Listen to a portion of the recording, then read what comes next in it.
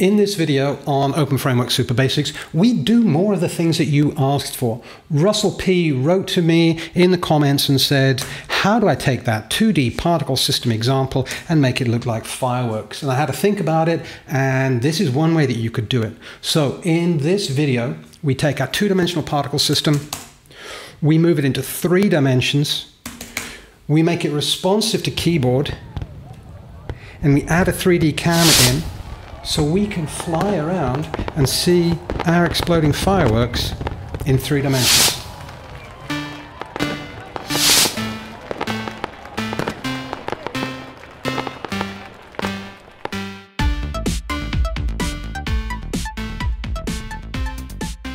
Hi, welcome back. Open Framework Super Basics.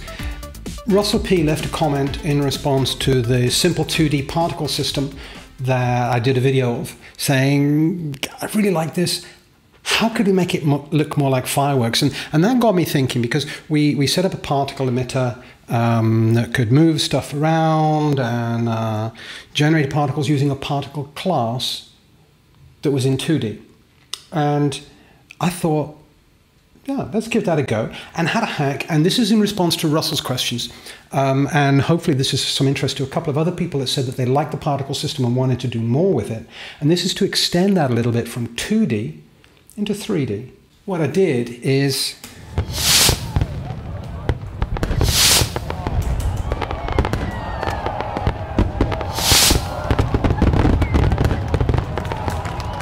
it, and every time you hit the space key, you make explosions of particles. And they obey gravity in 3D. And we can use the EasyCam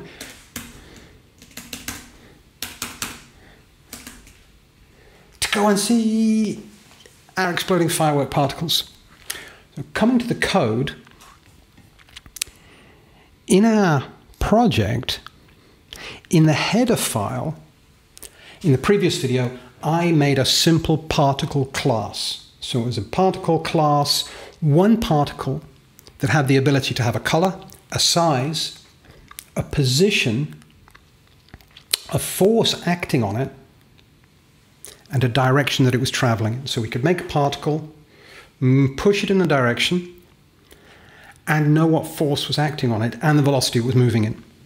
And then I gave it two methods update. So we'd say the particle update where you are, and it would look at what force was acting on it and decide where it should go next, and then draw.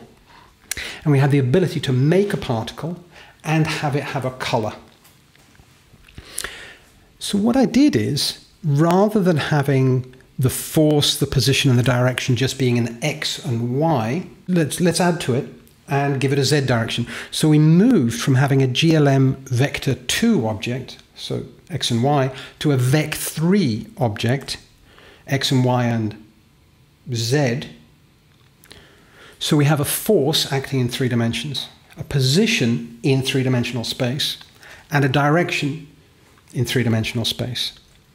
And the only additional thing is, I said, when we make our particle using our constructor, which is how we build a new particle, we've defined the particle in the class, but now when we want to make one, we can either just say make particle and supply it with basic information it needs. But in this instance, we're saying make particle and we have to give it an X and a Y and now a Z position and a hue. And then in my main uh, header for the Open Frameworks app, I added an easy cam, which we've seen before. So I've got a three-dimensional camera so I can move around and have a look at my 3D scene in Open Frameworks and I made an OF light object, which we've seen in the 3D before. And in my CPP, my main file, just running through it quickly, we set the background color to be black. We set our hue, which is where we're keeping track of the new particles that we make, what color they should be. I set max particles and I enable the lighting. And because we're working in 3D, I enable depth test. So it checks, our program checks what spatial order are things to be drawn in the Z direction rather than what order are they actually drawn in the program. And then I set the position in three space of the light. So it'll be across and back a little bit. And then because I'm going to be making spheres, I can set the resolution, how many edges they are, how smooth the edges are. And I've set it to be four. If you decrease this, they end up looking like diamonds. And if you increase, they get smoother and smoother and smoother. Of course, the smoother they are, the more vertices and surfaces they have, more computation. So we start with four. You play around depending upon the system and the effects that you want. In the update loop, we just said go and find how many particles we've made if the particles are more than the max particle, because every time I press the space key, I'm going to say make a bunch of particles. And we could just end up making millions and millions. I said the max particles we can have is 2,000. If uh, the particles are greater than our max particles, which you set up at the top, 2,000, you could increase it or decrease it depending upon the performance and the speed that you've got.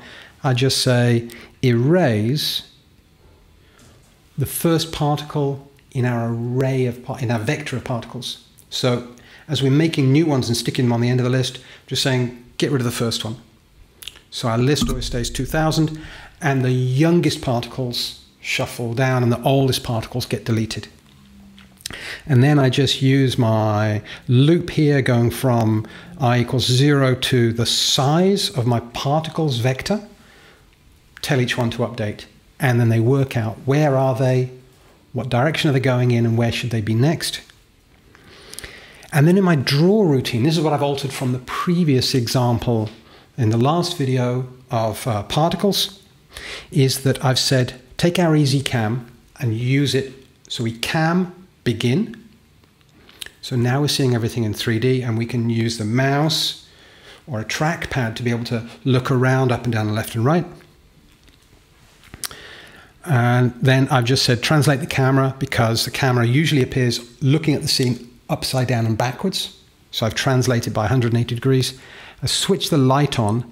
And one of the things that Open Frameworks can do, which helps us in this instance, because particles are flying all over the place, is to give us some reference and we can get it to draw an axis. So it's these sort of, like if you use a 3D program, often it'll, you'll see the axis and it's sort of helper to help you orientate.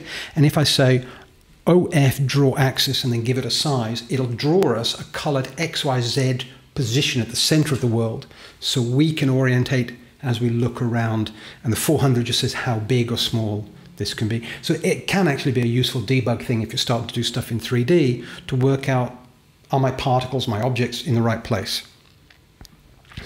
And then we go through each of our particles in the particles vector, saying draw them please, and then we disable the light and switch the camera off. So far so good. But what I need to do is generate some particles. Previously, we were just making them as we dragged the mouse around. We say if there's a mouse dragged, make a particle. But this time I want to happen, I want them to happen when I hit the spacebar, so I can hit the spacebar and have a explosion of particles. So I've said in my key press routine, we've already got the toggle full screen. If I hit the spacebar, so the case spacebar, I'm going to make 200 particles, and then I've got a loop here saying make me 200 particles. I use my particle class object, which I've defined in the header. So Open Frameworks now knows what a particle is. So I say, please make me a new particle to appear at 0, 0, 0 in three-dimensional space using whatever my current hue is. And then I just say, push back, put that new particle onto the vector of particles. And then every time we go through the update, it'll go and have a look. What particles are there? Tell them to update themselves. And I've added one more thing. When I let go of the key, I'm going to say, make a new random hue. So every time I press the space key, it'll be using a different color for the explosion of particles. And when I let go, it'll update what that color will be. So let's go have a look what we've got. Run this up full screen and you can see there is my axis, and as I zoom in and out, you can see the axis. And when I hit the space bar, it makes me these 200 particles in the loop. And then update tells them to update the position and they get acted on by a force. And every time I let go of the space key, it'll pick a new hue for them to be. And if I hold down the key, it'll keep doing this loop, making them all of the same color. And I can use the Easy Cam to look around. And if we go quite a long way away, I've got a little galaxy of exploding firework stars. And if I zoom in, you can see where they're being generated. And I can look around in three dimensions. And when I let go of the spacebar, they stop and start to decay and fall down based upon gravity. And also, as we saw last time, we're slowly changing the hue as they get older and decreasing them in size. So if I hit the space key, it'll generate me all these new particles and watch them decay. And if you watch the axes in the middle, you can see I'm looking around on these exploding 3D particles. So if I were thinking of this as fireworks, I can come and see it from underneath, and they come tumbling down towards me.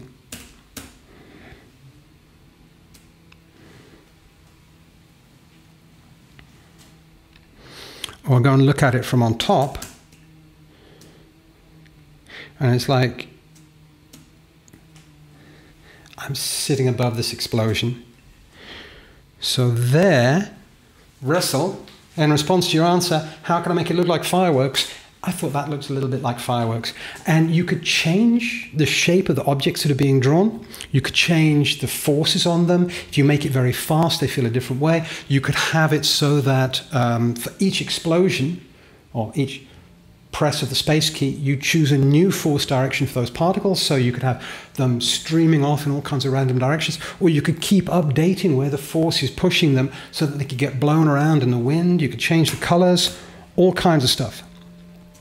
So that's super simple, quick, looking at how we take our two dimensional particle system based upon a class and just add one more uh, variable to make a vector 2 into a vector 3 object, and we get x and y and z position, and then we add the forces and the directions, and we trigger them off a key, and we build ourselves exploding particle system fireworks. So, if you like the video, please hit the like button, hit the subscribe button, leave me some comments and show me what you've been building. And uh, let me know what else you'd like to see, and I'll see you on a future video in the Open Framework Super Basics series.